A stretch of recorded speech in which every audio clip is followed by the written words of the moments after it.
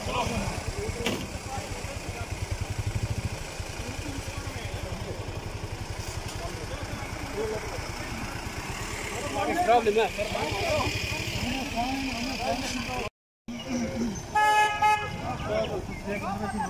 Obrigado.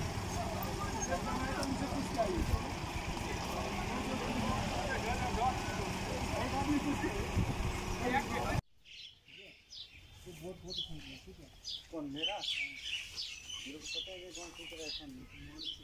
सुबह पकड़ लिया ना गाड़ी वाले वीडियो बना के जा रहा था पकड़ लिया।